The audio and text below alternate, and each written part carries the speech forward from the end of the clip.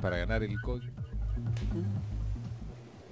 Estamos rápidamente tomando contacto con el móvil. Habla Federico, el papá de María Cash. Ocurrió en Plaza 11, en el... ¿no es cierto? Es falta de eh, un sistema de búsqueda eficiente, es decir, lo vengo sosteniendo desde el primer día. No hay control de camineras, de rutas, no hay cámaras de video eficientes en las estaciones de servicio ni en los peajes, o sea, es un libertinaje total, ¿sí? Entonces, cualquier hija de cualquiera de nosotros que se le ocurra hacer lo que se hace en Europa, dedo, bueno, está en peligro de muerte, ¿sí? Y cuando ocurre el hecho, venían con la sanata de que siete días hay que esperar para declararla perdida. Bueno, creo que eso se eh, erradicó, ¿no es cierto? Pero el tema de alerta en fronteras sigue sin existir sigue pasando gente de ida y de vuelta libremente por las fronteras, por lo menos del norte. Advertencia a los países limítrofes, difusión de imágenes y de afiches de búsqueda no lo hubo. Tuve que hacerlo yo. Este, todavía me falta hacerlo con Chile, por ejemplo. Es decir, tengo que mandar yo por mail un afiche de búsqueda a la Embajada Argentina. O sea, no hay un aparato oficial de búsqueda eficiente, búsqueda constante. Es decir, los registros en los hospitales nunca fueron completos a pesar de que la ministra Camaño me dijo que lo había impartido la orden. Y ahora acabo de hablar hace media hora con este, el director del Hospital San Bernardo de Salta, este, quien me dice que no se anima a decirme eh, datos por la relevancia que ha tomado el caso.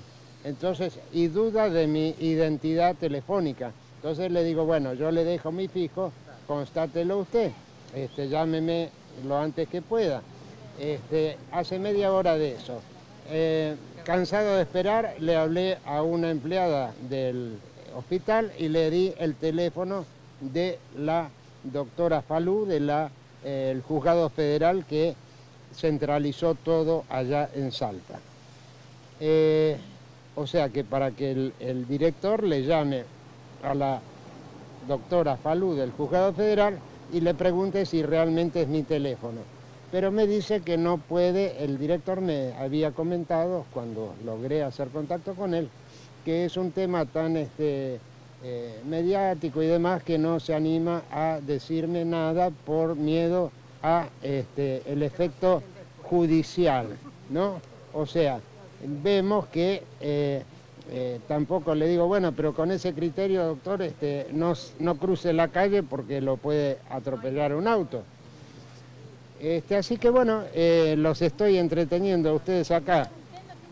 ¿Usted no tiene un abogado suyo trabajando allí que pueda acercarle alguna información de lo que pasa allí en Salta? recién ayer, hoy, hoy, hoy realmente eh, me confirmó un abogado eh, del Estado eh, que le había llegado la notificación que había sido aceptado como representante nuestro y querellantes en, en el juzgado de Salta. Es decir, Federico, que desde que... Hola. Estoy con toda la prensa, con las cámaras en la vereda. Te dejo, eh, me llamas después. ¿Eh? No te entiendo. Bueno, el padre de María Calle está recibiendo un llamado, innumerables llamados en realidad, confirmó que tiene un representante legal en Salta que está siguiendo los detalles en torno ni más ni menos que a la causa. Lo seguimos en este panorama donde los medios están dando toda esta información, ustedes están sin saber, sin tener un dato, sin un nexo que le pueda dar alguna información sobre lo que pasa. Ayer me llama un eh, secretario del ministro de Gobierno de Salta, este, Silvester se llama, y me dice que me se hablaba para solidarizarse, para ofrecerme toda la colaboración posible en materia de pasajes, hospedaje, lo que necesite, ¿sí? Todo eh, excelente lo agradecí, eh, me parece estupendo. Pero eh, a continuación me da algunos datos, como por ejemplo, este, que había aparecido un mechón de pelo. Entonces le digo, bueno, ¿de qué color? Y me dice, y es rubio. Bueno, qué alegría le digo, porque mi hija no es rubia. Este, no, pero bueno, es un rubio castaño claro. Bueno, entonces, ¿en qué quedamos? ¿Es rubio o es castaño claro? Porque hay que concientizarse que si se está tratando un tema como el que se está tratando, este, por lo menos precisión en un dato tan este, delicado como es ese, ¿no es cierto? ¿Ahora le dijeron que a las 4 de la tarde iban a comenzar nuevamente la autopsia? No, a mí me, la- las versiones que me llegan eh, por ustedes, digamos, eh, es que eh, empezó a las ocho y media y ya terminó. El abogado mío me llamó para precisarme qué pasa, que yo le pedí al señor Silvester del gobierno de Salta que preservaran muy bien el lugar donde había sido encontrado el eh, cadáver este, y la zona adyacente, ¿no es cierto?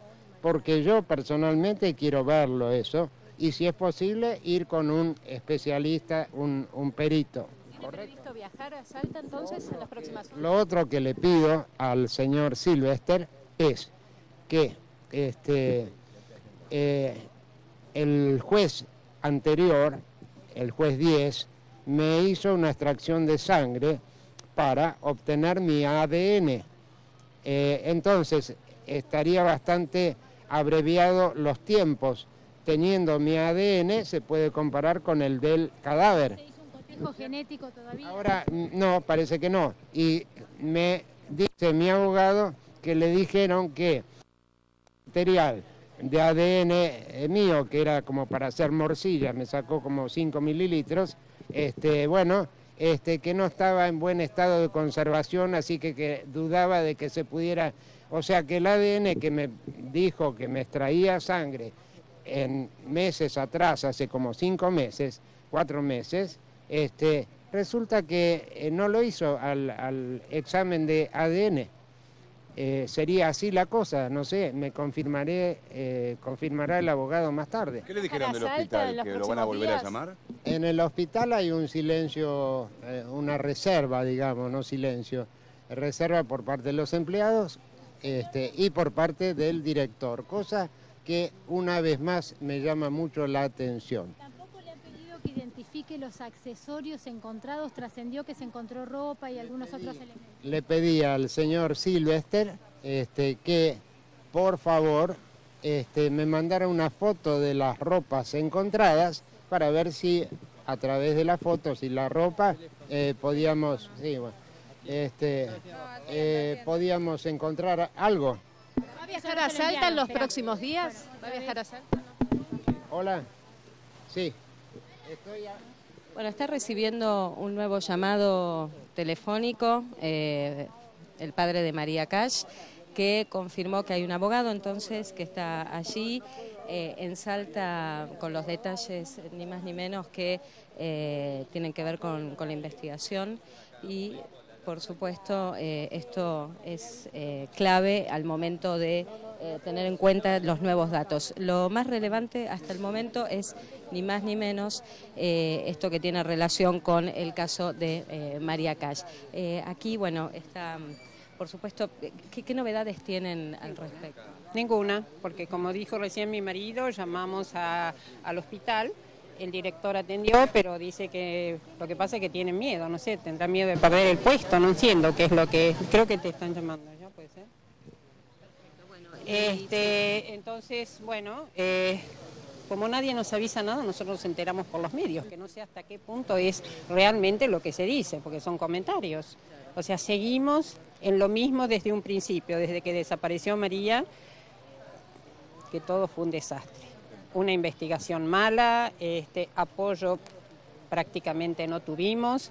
Este, se necesita, yo lo estoy, pero ya directamente diciendo, un investigador de primera y un abogado, porque si no, no va ni para atrás ni para adelante esto. Entonces, eh, lo que estoy necesitando es con urgencia. Ayer llamó el secretario de Randazo diciendo que se ofrecía y que esperemos que no sea María. Bueno, señor Randazo, hace dos meses que estoy pidiendo yo una, entrevista con el Son cinco minutos y nada más. No la tengo. ¿Y qué respuestas reciben hasta el momento desde el ámbito nacional? Ninguna. Ninguna. ¿Qué espe- Eh, eh, eh, Ortubey, que es el gobernador, lo menos que podía haber hecho es haber llamado por teléfono, porque creo que los teléfonos están en todos lados. No, nada, nada. Llama a este secretario que dice que el pelo era rubio, después dice que era castaño claro, que no sabía, bueno. Se dice que eh, la, la primera parte de la autopsia el cuerpo mediría un metro setenta. Eh, ¿Qué características tiene María? No, era un metro sesenta y seis, sesenta y siete, no era un metro setenta. La dentadura la tenía muy bien, pero había tenido una eh, creo que más o menos en el mes de abril, que se la había hecho arreglar. Este, quería dar con el dentista en este momento, pero bueno, estamos tan enloquecidos como para que me atestigue realmente eso, porque sé que se la había arreglado. Tenía bien sus dientes, sí, pero después puede ser una muela o algo que no estuviera bien. Y el representante legal que tienen en Salta ahora, ¿qué novedades les dio? Ayer, ayer, después de 15 días, o sea, todo esto es, es oficial, o sea, es una cosa gratuita, que como todo lo gratuito, este, tarda más que cualquier otra cosa. Entonces, recién ayer le llegó al abogado este, la, el- la difusión de que él va a ser el encargado en este momento del caso de María allá. Recién ayer, después de no sé, 20 días más o menos que firmamos la ¿Qué es lo que espera de esta investigación? ¿Qué es lo que espera? Es lo que espera que María aparezca, nada más. Otra cosa no puedo esperar. Estoy deseando después de nueve meses que mi hija aparezca de una vez por todas, pero no de esta manera, que no sabemos si es cierto o no es cierto. Pero bueno, ¿Creen que hay un manoseo de la causa? eh, sí, es un desastre. Eh, Yo creo que el gobernador no quiere que pase nada, entonces trata de sacar todo. Señora, saca, ¿qué, qué le saca. dice su intuición? ¿Usted Que no es María. que no es María? Para mí no, no es. Pero bueno, esperemos y roguemos que, bueno, que así sea. Igual ustedes eh, van a insistir hasta último Ah, pero yo voy a insistir, pero de- no, no, y después hay que seguir, Claro, claro. más todavía que ahora, porque hay que saber a ver quién fue, cómo apareció ahí, qué es lo que pasó, y, eh, de ninguna manera. Ahora a mí me van a poner el mejor abogado y el mejor investigador, porque ahí tiene que haber un investigador 10, no un pobre desgraciado que va en colectivo a buscarlos. Señora, ustedes ya habían experimentado una situación similar, ¿no? De- ¿Cómo, cómo? Ustedes ya habían experimentado. Bueno, es eh,